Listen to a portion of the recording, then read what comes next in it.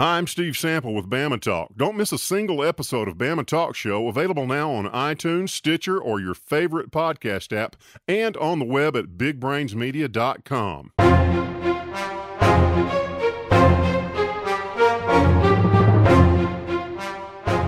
This is your Weather Xtreme video for Saturday, December the 28th. I'm meteorologist Brian Peters. Thanks for tuning in.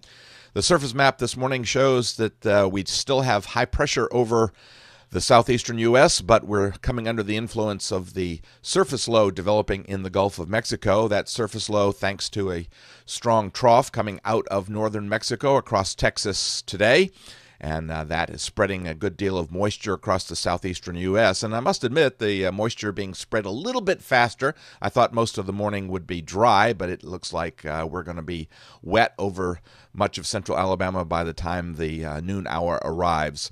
Temperatures across the country fairly chilly, which is not to be unexpected here as we head into the very last part of December. Across the southeastern U.S. and central Alabama, we're generally in the mid and lower 40s for most locations, a little bit chillier uh, with upper 30s in the Tennessee River Valley. Looks like temperatures are not going to climb a great deal today with clouds and rain. Speaking of rain, the rain covering a large part of the uh, southeastern U.S. from the southeast Texas coast across much of southern and southeastern Louisiana and southwestern Alabama and southern Mississippi. So the rain just going to be spreading across the area. Not too much in the way of advisories or watches around. Uh, we do have a few uh, winter weather type uh, events up over uh, the north central part of the United States, and then the green area you see in Georgia is a flash flood watch. Rainfall wise, we're expecting uh, um, pretty widespread one to two inch amounts. Uh, with heavier amounts in the area along the track of the low, uh, generally across the southeast quadrant of the state of Alabama, generally uh, sort of between Clanton and Troy, where they may see two to three inches and uh, may be some isolated flooding issues. Uh, thunderstorms are a possibility across uh, North Florida generally and the southern uh, half of Georgia.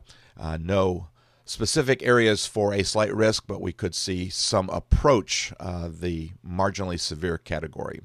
All right, the 06Z GFS model run, and there's a look at the rain shield spreading in ahead of the uh, and with the low developing in the Gulf, and then the closed low coming out of northern Mexico and coming across Texas today. By tomorrow, that uh, closed low has become an open wave as it's approaching the mid Atlantic states. And at the surface, we see that uh, well developed surface low has reached the coastal area of Virginia. And by noontime, I think that uh, the rain will be ending across much of central and north Alabama. We may get a little wraparound moisture with the clouds uh, in the afternoon and see some more sprinkles. There's another uh, uh, short wave dropping into the long wave trough position on Monday, so that brings in another shot of cold air. You can see the 540 line dipping down into northern Louisiana, so another shot of cold air. So Monday's going to be another one of those uh, kind of raw days where we don't get out of the 40s. The pattern flattens just a little bit on Tuesday, uh, enough that I think we'll probably get up into the lower 50s and uh, we stay dry. And then Wednesday, we see another short wave coming through the flow and uh, that bringing another reinforcing shot of cold air and potential for at least some showers. Now, this is where things get a little dicey when it comes to the various uh, model runs because the European at this same time is uh, certainly uh, much wetter as uh, we see from uh, the surface map generated by the European. So right now, I'm kind of thinking that the GFS may have a little better handle on this than the European, but uh, time will tell anyway. The uh, trough, uh, the long wave trough sharpens up just a little bit with all of these disturbances moving through the flow. So we see a rather chilly uh, 2nd of January with uh, the 540 line coming down into the vicinity of Birmingham. We uh, see the long wave trough uh, kind of uh, migrate a little further east on Friday, and then on Saturday, we've got another one dropping in, and that one probably is going to come through with a little bit more moisture as it looks like the Gulf will open up. We'll probably be dry a week from today, but it looks like another wet day for uh, Sunday. Uh, a week from tomorrow. So, a nice continuation of a very active weather pattern.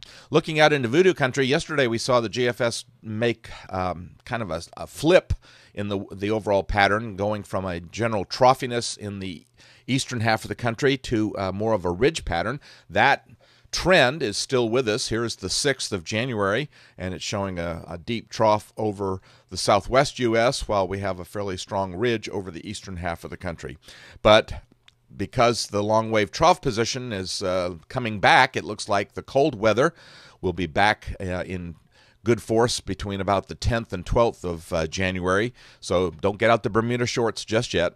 Uh, the warm pattern as we get into the first few days of January will be fairly short lived. Well, that'll do it for the Weather Xtreme video for this morning. I'll have the next one posted by 8 a.m. or so on Sunday morning. In the meantime, I hope that you can stay dry, stay warm, and have a good day. Godspeed. Thank you for trusting us to be your number one source for news in all of central Alabama. In back to back ratings periods, more people watched ABC 3340 than any other station in Birmingham.